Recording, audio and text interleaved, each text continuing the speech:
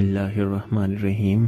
एक तुर्क मुसलमान मस्जिद नबी शरीफ के अहाते में खड़े होकर अपना आँखों देखा वाक़ बयान करता है कि मैं वह वहाँ खड़ा देख रहा था कि चार पुलिस वाले किसी का इंतज़ार कर रहे हैं।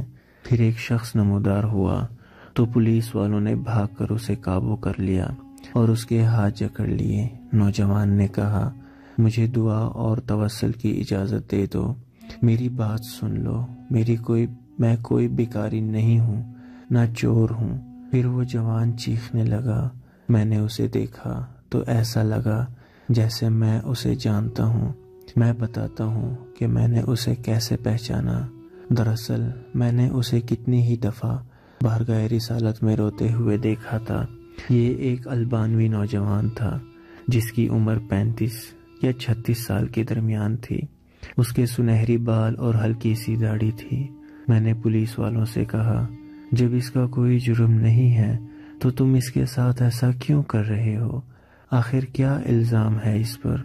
उन्होंने मुझे कहा, अरे ओ तुर्क, तू पीछे हट। इस मामले में बोलने का तुझे कोई हक नहीं।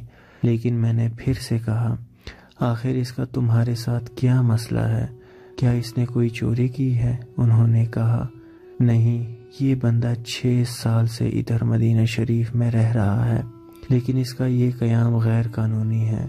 हम इसे पकड़कर वापस इसके मुल्क भेजना चाहते हैं, लेकिन ये हर दफ़ा हमें चकमा देकर भाग जाता है और जाकर रोज़े रसूल सल्लल्लाहु अलैहि वसल्लम में पनाह ले लेता है और हम उसे अंदर जाकर गिरफ़्तार नहीं करना चाहते थे। मैंने पूछा तो अब इसके साथ क्या करोगे?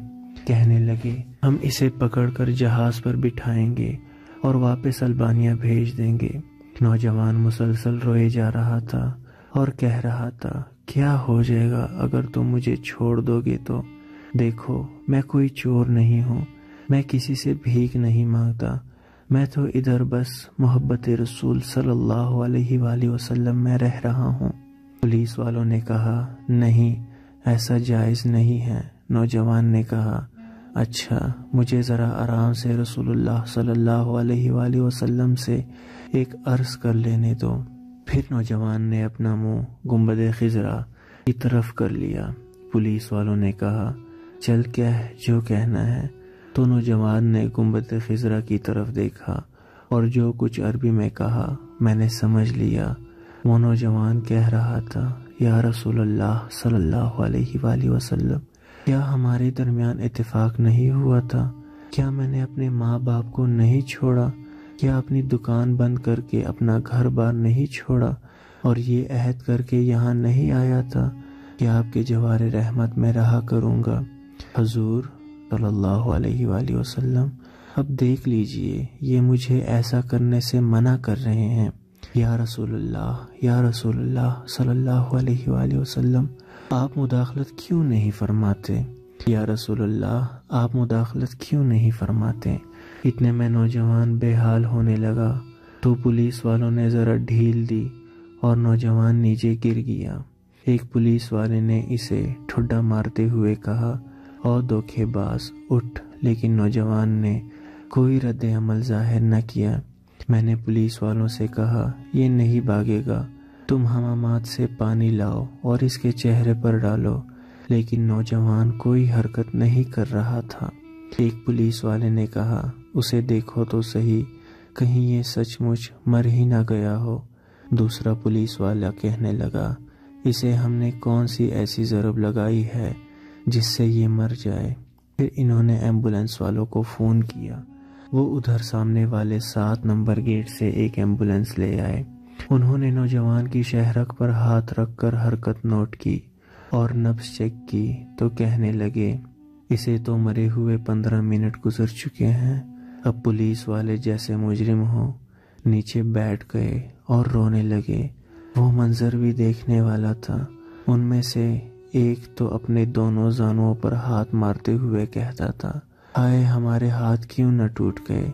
काश हमें मालूम होता कि उसे रसूलुल्लाह सल्लल्लाहु अलैहि वसल्लम से इतनी शदीद मोहब्बत है। हाय, हमारे हाथ क्यों ना टूट गए? इसके बाद एंबुलेंस वालों ने उसे वहाँ से उठा लिया और जन्नतुलबकी की तरफ़ तजहीज़ व तकफीन के लिए हिस्से में ले गए। गसल के वक्त मैं भी वहीं मौजूद था। मैं उन्हें कहता था, मुझे भी हाथ लगाने दो, मुझे भी इसकी चारपाई को उठाने दो। जब जनाजा तैयार होकर नमाज़ के लिए जाने लगा तो पुलिस वालों ने मुझे कहा, हमने जितना गुना उठाया है, बस इतना काफ़ी है। इसे हमारे सिवा और कोई नहीं उठाएगा। शायद इस तरह हमें आखिरत में कुछ रियायत मिल जाए। मेरे सामने ही वो नौजवान बार बार कह रहा था कि, या रसूलुल्लाह, आप मुदाखलत क्यों नहीं फरमा रहे? देखा रसूलुल्लाह सल्लल्लाहु अलैहि वसल्लम ने मुदाखलत फरमा दी और मलिकुल मौत ने अपना फरीज़ा अदा करके उसे आप तक हमेशा के लिए पहुँचा दिया। अल्लाह पाक हमें अपने हबीब सल्लल्लाहु अलैहि वसल्लम की वैसे ही मोहब्बत अता फरमाए, जैसे ही उस अल्बानी नौजवान को अता फरमाई थी।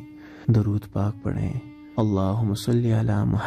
व अला आलि मुहम्मद कमा सल्लैत अला इब्राहीम व अला आलि इब्राहीम इन्नका हमीदुम मजीद अल्लाहुम्म बारिक अला मुहम्मद व अला आल मोहम्मद कमा बारकत अला इब्राहीम व अला आल इब्राहीम इन्नका हमीदुम मजीद मज़ीद अच्छी और इस्लामिक वीडियोस के लिए हमारे चैनल को सब्सक्राइब करें।